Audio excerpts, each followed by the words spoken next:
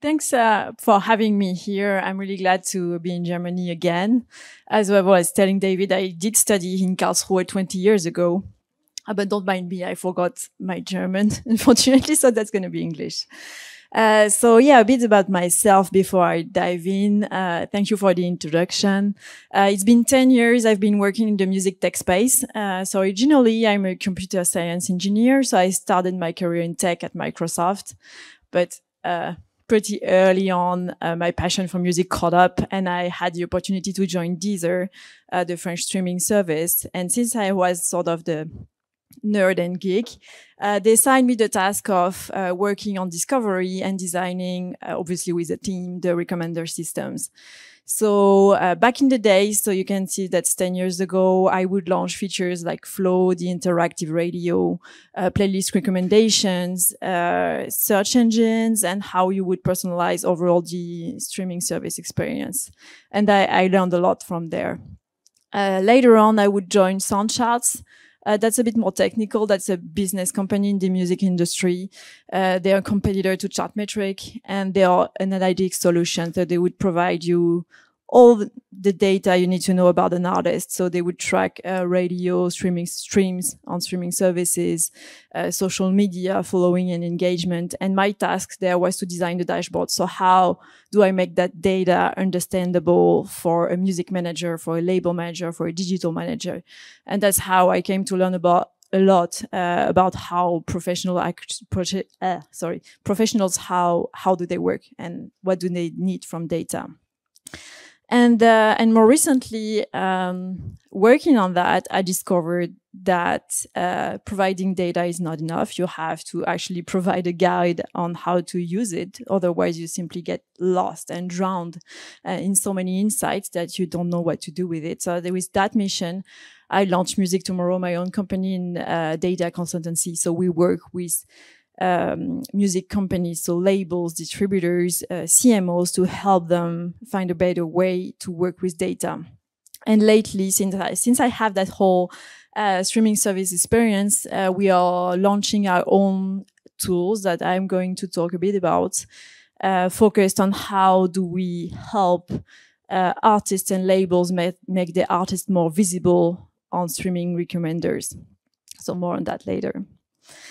Uh, so today I'm going to give you a few insights of how, of how music professionals uh, do with data and uh, various use case of AI in the industry. And then I, am going to dive in on recommender systems.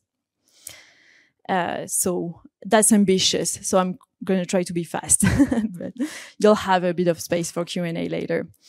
Uh, so first of all, I'm talking about data and I'm talking about it a lot, but that's also because data is very pervasive now in all the jobs, uh, all the music industry jobs. Uh, so every year at Music Tomorrow, we run a survey across music, music professionals to track uh, their data practices. Uh, so we have a sample of more than 90 companies covering about 30,000 plus professionals across the industry worldwide. And this year, about almost you can see that two thirds of them are using data every day. Uh, and that's up from half of them the year before. So things are moving pretty quickly. And that's, uh, and I'm going to give you a few examples of what would they do with it so that it's a bit more concrete for you. Uh, and that's very simple stuff that already you guys, if you already have a Spotify for Artists accounts, can already do. Uh, so uh, first of all, like I said, you can easily get lost. So the first thing you would do is uh, set goals. What do you want to look for? And an example is that, for example, uh, on Spotify for Artists, you would look at uh, the how are your streams distributed. Um, so what you want ultimately as an artist to have a sustainable career, you want to have your own fans and people following your artistic project.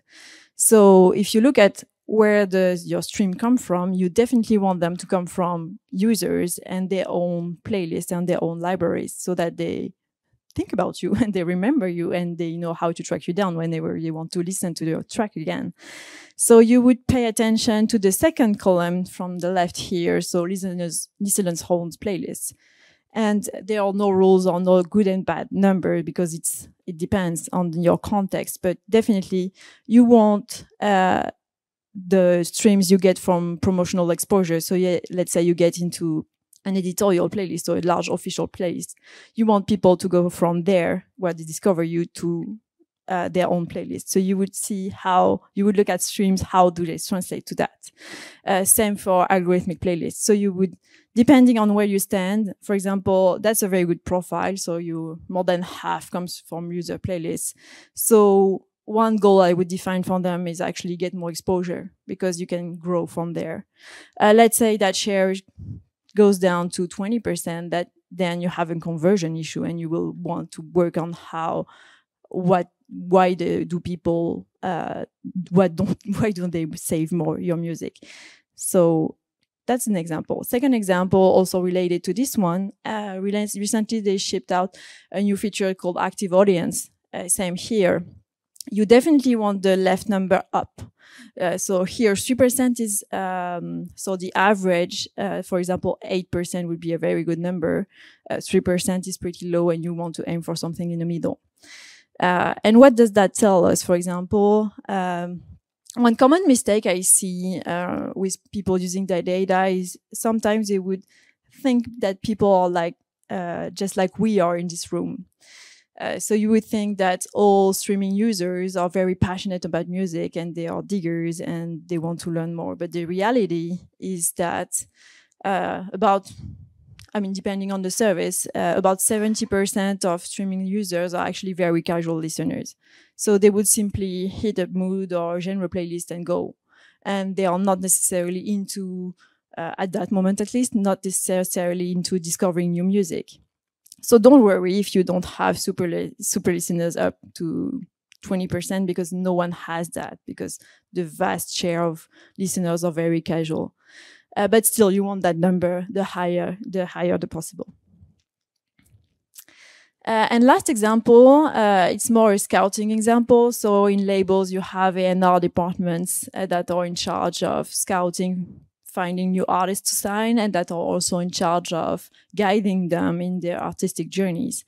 And prior to signing an artist, they would also obviously have uh, a listen to the music and they have to obviously engage with it. But they would also check data to see how they will work, these artists. So they would look at data, the one that I showed. So they would look at how engaged the audience is. And they would also look for consistency so that's an, that's an example um, of an artist that have very good signal. That's some somebody who will get obviously very good offers from labels um, because uh, what you see there is very consistent growth across different uh, platforms, and that's what you want because that's a sign of people actually engaging you with you as an artist, regardless of where you distribute your music. So you would see similar shapes on YouTube, on Spotify, on Deezer, on Instagram. And uh, that's what you want. And on the opposite, what you don't want is to have, let's say, growth on Instagram, uh, converting to no streams or not much on Spotify. Or at least that's an area that you will want to work on because you want consistency. And obviously, you don't want to rely too much on one platform. Um, so these examples are actually pretty simple. That's something that you can all access, and that's uh, that's not that complicated. So that's what most professional also would do. They would look at uh, KPIs like that. I mean metrics like that. Uh, so when I say two thirds of them are looking at analytics every day, that's what they do. I mean, they would go to first, what we call first party analytics, so the platforms analytics, so YouTube Studio, Spotify for artists, Apple Music for artists, and so on. They would go to these tools and look at what's happening. And then uh, half of them would get a bit more sophisticated and would go to third party analytics. And uh, what they do with them. So I was mentioning Soundcharts and Chartmetric, and those platforms track over 2 million artists every day to, to look at KPIs like the one I just showed. And what they do with them, obviously, is looking at their own artists to see what's happening in the, across all platforms, but they would also use them for benchmarks. And that's how I would advise uh, you guys to use them as well, is to not, not only look at what's happening to you, as an artist, but also look at what's happening to other artists, other artists that have aspiring careers that you want to have as well, to see who are the influencers that are prescribing them. Uh, what does their growth look like? And then you can sort of set your expectations of things that you could also achieve yourself. Um, and last one, um, more and more, because uh, when I started Music Tomorrow, so not that long ago, that was only three years ago, the most common analytics tool that uh, label would use was spreadsheets. So the, the, the bar was pretty low. and that was a good indicator that we had, uh, that we were on the right track to work with them. And um, I'm happy to see that, uh, I mean, obviously not, not only thanks to us, but that um, labels are getting a lot more mature now every year uh, working with data. So I was happy to see that this year spreadsheets were only coming second in the top tool that they would use and that their own data solutions uh, were now their top uh, priority to develop. And still no, no rocket science there, but they would simply use um, business intelligence tools like Tableau, Looker Studio. I mean, I don't want to lose you here, but uh, they would use these uh, to cross-reference their own data with third-party data to be smarter and to have more specially specialized analytics uh, tailored to their own to their own issues and problematics.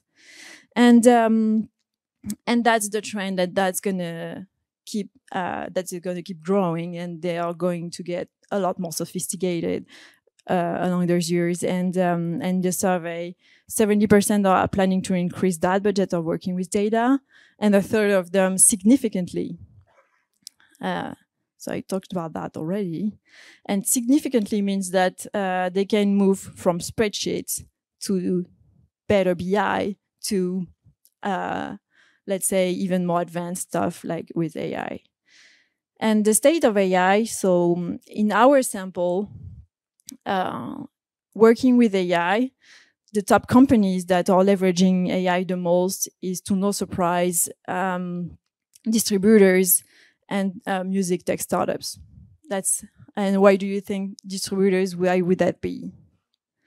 So distributors, so they are the believe the TuneCore, the CD babies, the DistroKids of the world and they have they're basically sitting on the largest data sets because they are distributing millions of artists uh, to streaming platforms and they know what's happening. So they get what we call private data. So they know everything uh, from streams from saves to skip rates uh, to where you were playlisted and things like that. And that's basically a gold mine when you want to analyze artists. So they have they're among the ones who have the most advanced data practices with it. And I'm going to deep dive on uh, what do they do.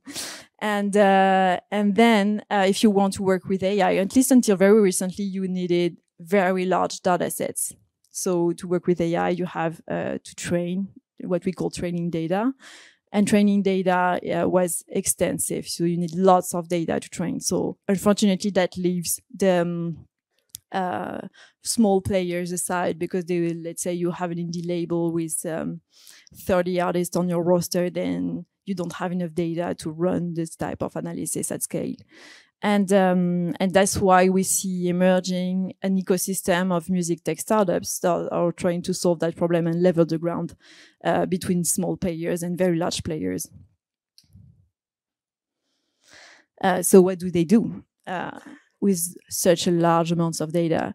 So they would, um, most of them, at least uh, when you're working with a catalog, let's say you are a publisher or a label or major and you have a very large catalog to work with, then the first thing you would, the first issue you would need to tackle is clustering and con content classification. So what music do, do I have in my catalog? And that would be a signal analysis. So what genre is that song? And you can think uh, that's easy to do. And if you have the song in your catalog, you should know what it is. Uh, but at scale, you, you, you, you definitely need a tool to help you browse the, the breadth of data that you have. Uh, second, you have predictive models. And that's, um, that's actually very um, important for all things royalties because uh, assuming you're an artist, you've invested in your song production and promotion and just distributed and you get a large amount of streams, hopefully, uh, then you need to get paid for that. And uh, but unfortunately, the value chains of music, like for the time to collect uh, your data and then convert that into money that you can actually put in your pocket. Usually months go by.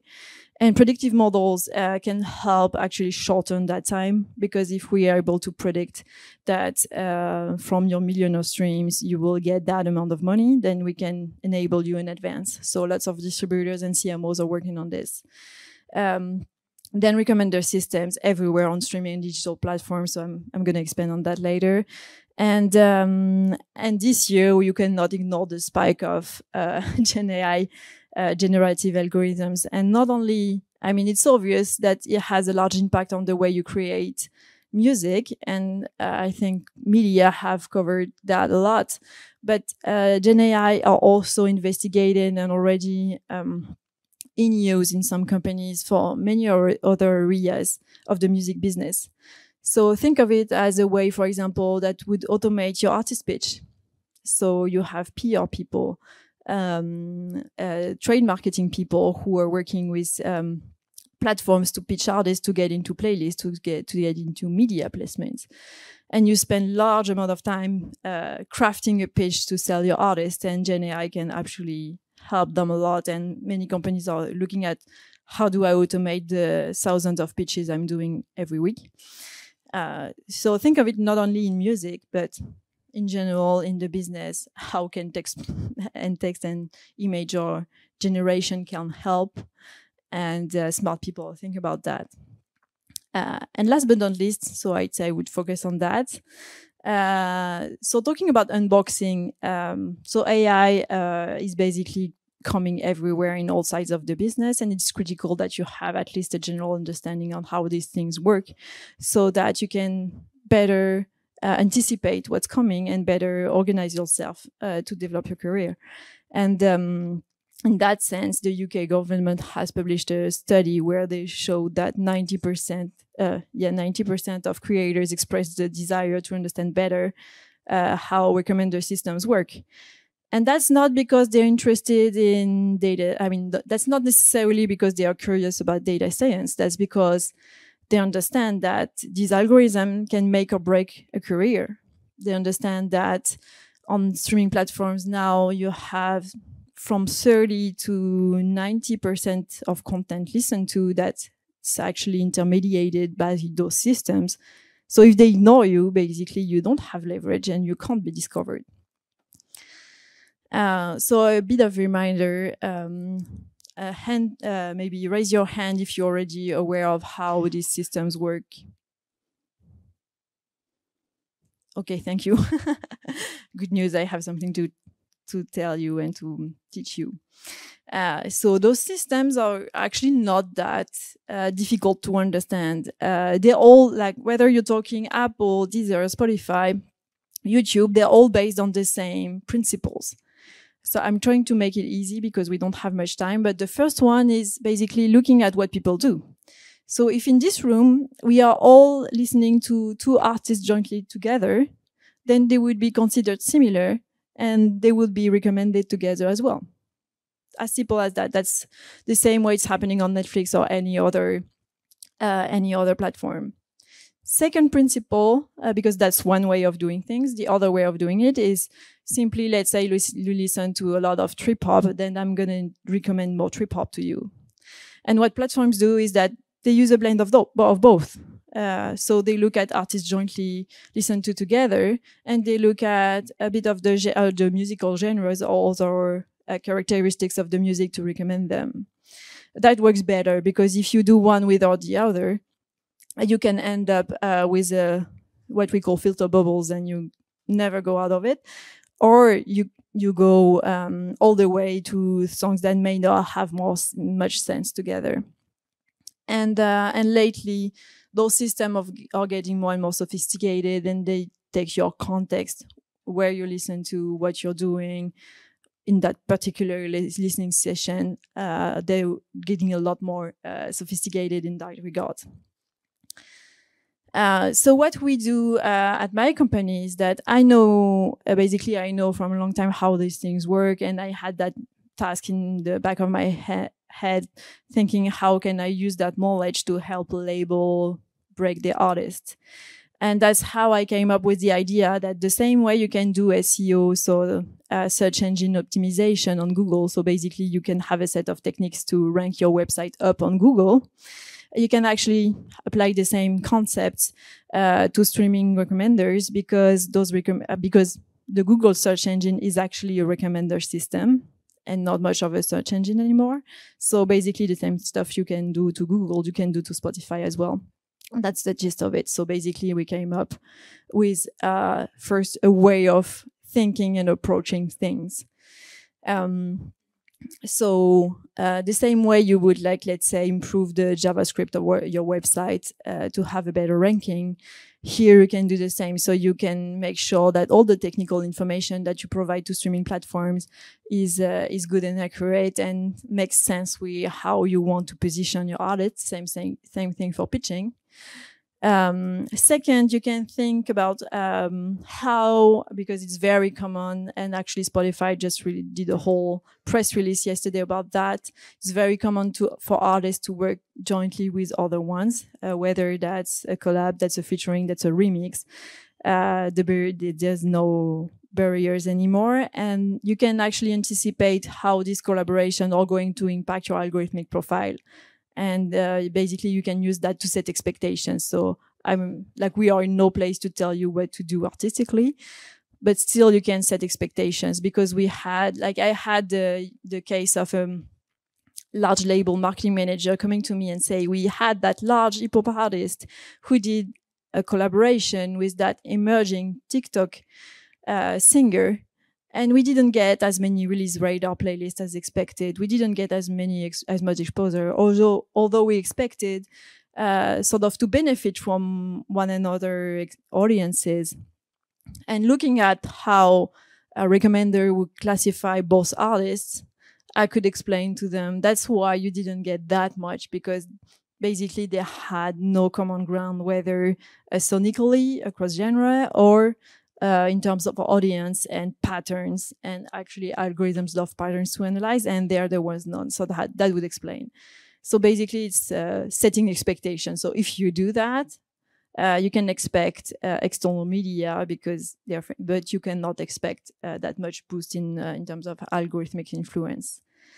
And last but not least like i said algorithm love patterns. So you you would simply direct positive reward um, so you would direct your marketing efforts to audiences that would respond well uh, to your content. So think about looking at who has the best, uh, who saves your songs in their playlists, who uh, has them on repeat listen, and those are the people that you want to promote your music to first because they would train the algorithm, uh, the algorithm about who's the right audience for you. So simple as that uh, you would have so we have so I, I showed you the whole way of thinking and methodology. And uh, we have tools to sort of automate uh, that line of thinking. So we have obviously in health check like are you checking all the boxes at least to be eligible to be recommended? Uh, so that's one. And the things to be eligible is how do you have your lyrics uh, filled? Are you using the artist picks are you using the platform features? Stuff like that and then uh, we have another tool that's gotten slightly more sophisticated because we basically reverse engineer the way uh, recommends the system work. So we have our own algorithms on, on top of uh, Spotify's. And our algorithms basically uncover how you have been perceived uh, by the platform. So that tells you uh, when I was talking about uh, listenership similarity, so with whom you've been listened to, that's what we look at. And so we can tell you uh, basically for one artist that we look at, we look at all the artists that are popping up in recommendations with them. So that tells us, okay, you are frequently listened to with that artist, and there uh, that can give us insights about who are your listeners and have you have you been accurately classified? Because then that will impact um, how you will market or maybe if that's wrong and if you've been wrongly classified then you can do something about it. So that's an example uh, we did we did run this um, analysis on joji that's a very famous hip hop uh, singer who actually got famous from doing like uh, initially he's not he was not in music. He was simply a youtube influencer doing very silly stuff uh, there don't check it out and um, and looking at the artist and what was happening on spotify when he finally like got to be more at ease with himself and doing less silly stuff and more music. Uh, then we looked at his map and we would see like um, at the bottom right that he would be listened to with very uh, other viral rap artists because that's where it came from. So, so we have that whole YouTube ecosystem also uh, that we could see on Spotify. So every every circle is an artist, and every rectangle is a playlist that would influence the forming of that group of artists.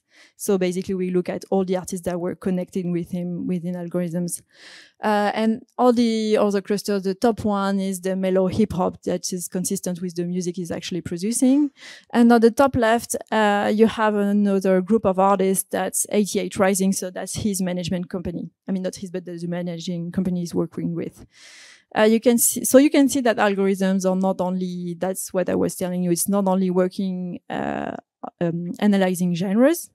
That's only one angle you can look at it, but you can look at it as, uh, with who am I listen to? And you can see that here that maybe it's influenced by your label, your management company, maybe that's influenced by how you were actually discovered. And once you actually understand that, you can simply say, okay, that viral rap thing I want to lean in more, or at least, or maybe that's something I want to forget. And then I'm gonna never going to market to them anymore. Then that's your choice then as a label or manager. Um, so yeah, that I want to um, leave a bit of a space for questions. So I'm gonna stop there. Thank you very much.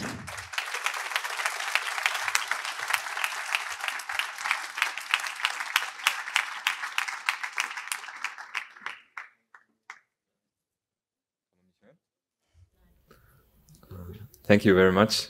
Um, really, uh, Future Music Camp has always been a lot about music data and on smart ways uh, how to using them. Um, so yeah, we're very grateful to have you here and have your insight. Uh, yeah. Merci. Um, ah, there are some questions. Oh, we, you're all there. I, I already have my things. Yeah. Um, thank you for your talk. Um, a simple question. Uh, you mentioned that you should look at other artists' data and statistics. How can we do that if you're just like an individual artist? Uh, so yeah, benchmark to me, benchmark is very important. Uh, so the ideal case is uh, definitely uh, try to uh, get your hands on a Soundcharts or Chartmetric subscription. So whether from, from any entity that's able to help you, that's uh, the, the, easiest way to get the data. So let's say you don't have uh, access to that. Uh, I would simply look at uh, their profile pages. Because um, today, for example, Spotify or YouTube would give away a lot of information about them.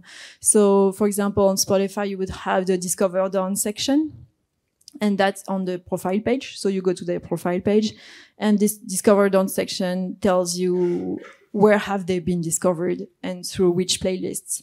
And these playlists can either give away media that have promoted them. So you have a lot of festival playlists, media playlists, radio playlists. Uh, so you can see that probably. Uh, you can also see maybe moods. Uh, so for example, uh, if your sonic genre tells a lot, I mean, fits a particular mood uh, or type of mood playlist, that's where you would see it and maybe think about positioning uh, through that. So yeah, I would at least look at that and look at also their own similar artists if you don't get access to fancy, fancy tools like ours or Chartmetric or Soundcharts. Cool, thanks.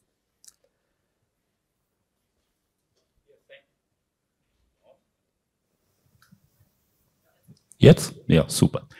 Thanks for the insights. I have a nasty one. So if you give back this feedback to the artists, the labels, the management, um, don't you see a little bit of a danger of kind of mainstream filter bubble brain washing to say, come on, I, I tweak a little bit my lyrics, I tweak a little bit my metadata, I think about my collabs, so I actively change my musical content in order to be, yeah, in a better situation for the recommender algorithms, which we already have on Spotify with these things like get it in the first 15 seconds, think about the break, etc.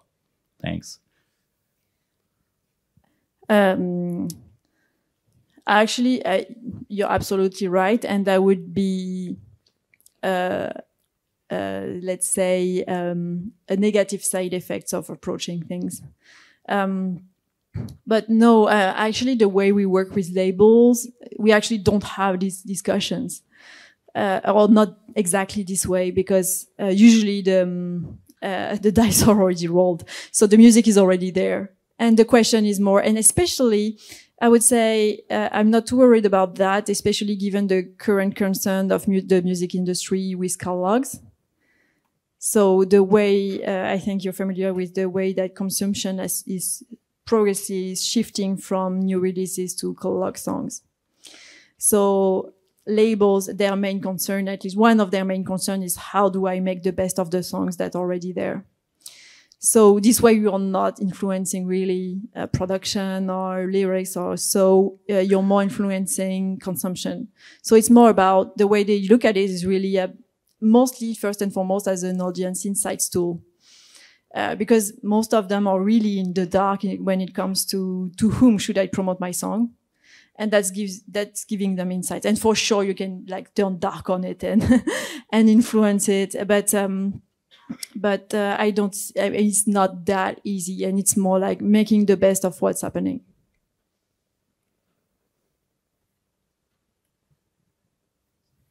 Haben wir weitere Fragen? Are there any more questions?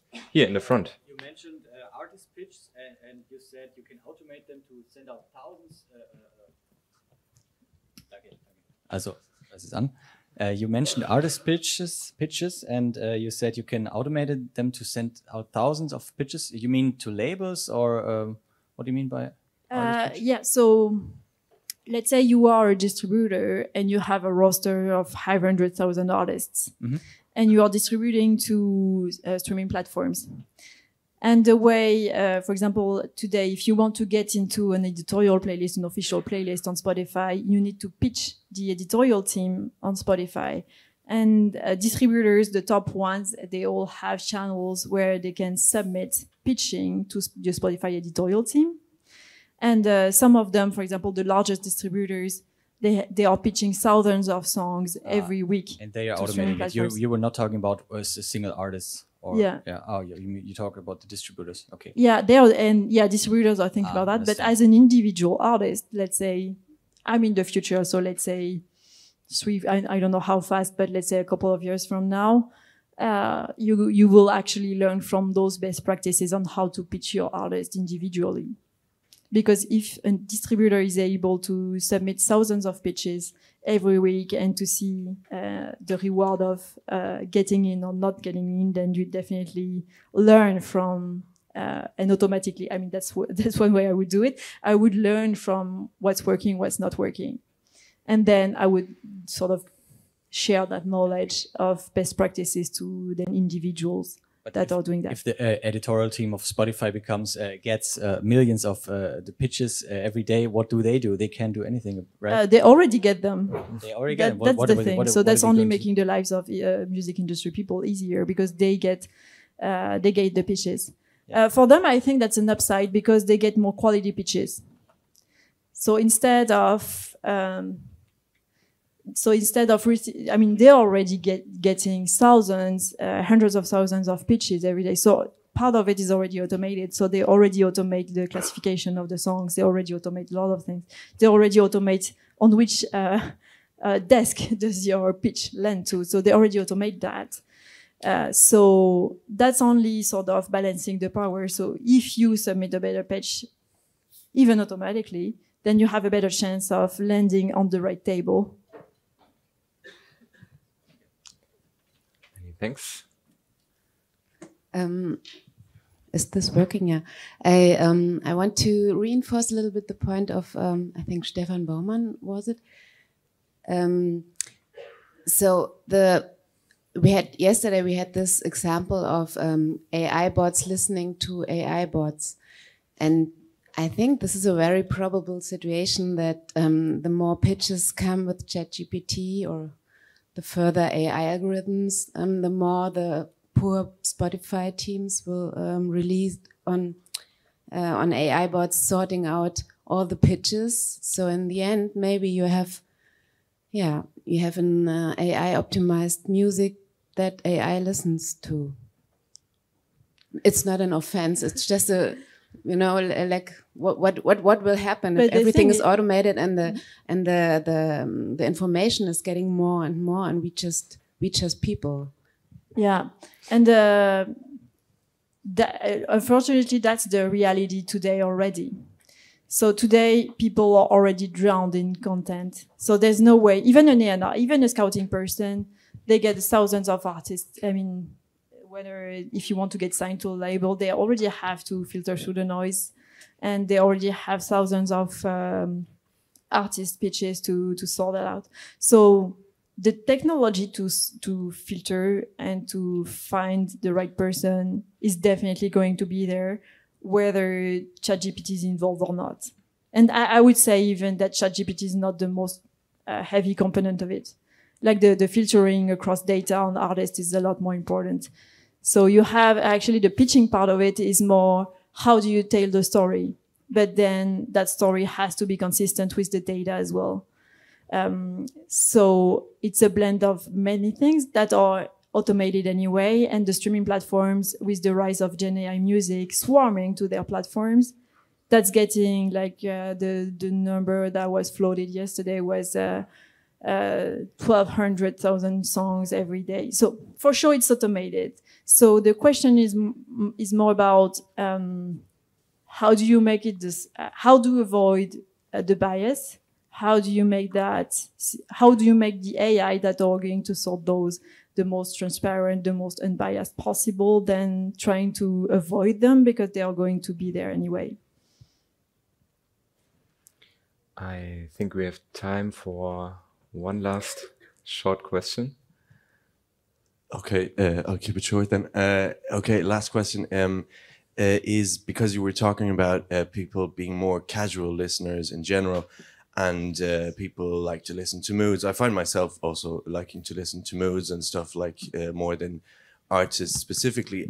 Is that kind of can you observe that that is maybe a tendency that as an artist you you kind of have to or you should rather focus on finding the right moods than having specific kind of uh, elements of your music in as a like into yeah more more focusing on moods than on like a song and uh, specific elements like is that something you can observe Yeah, and uh, and uh, and with that, there is one way to sort of go dark about it, and let's say, uh, I mean, people are already doing that. So some people are like um, generating a lot of music per mood and uh, creating their own mood playlists, boosting the playlists, and trying to get that many streams on those playlists with that. Uh, with no particular artist behind, but simply people who write a lot of the same mood stuff for those playlists. So that's already happening.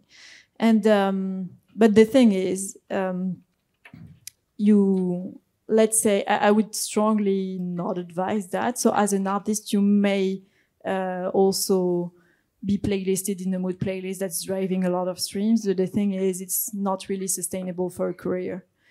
So I, I- I consider that you have several classes of artists, and um, and if you want to actually be an artist in the sense of uh, getting fans, touring, creating an actual artistic career, that's not a good way to go because you would be very reliant on those playlists. And once you're out, you're out. So let's say you get into that jazzy fireplace because you had that very chill mellow jazz uh, song into it. The day you're out, you're out. And then where does that leave you? You you don't have any organic fans that you can rely on. Um, so, and I actually we had that very particular case of an experimental jazz artist who did a few jazzy fireplace songs, and he got those playlists. And ultimately, that sort of killed his uh, other ex- experimental jazz catalog because people coming from the mood stuff, eager to have more mood stuff, would sort of get disappointed with the more intense stuff.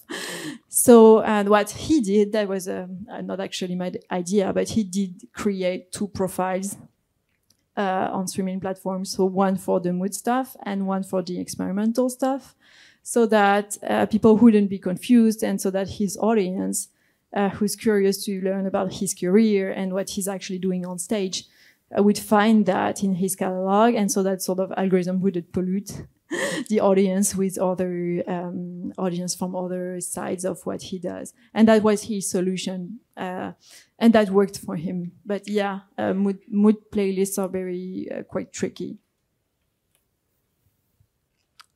all right many thanks for your question as well um, yeah, we're running out of time. I'm sure there are many questions more. Uh, you can maybe uh, ask Julie uh, later during the breaks or during lunch. Big round of applause for Julie. Many Thank thanks. You.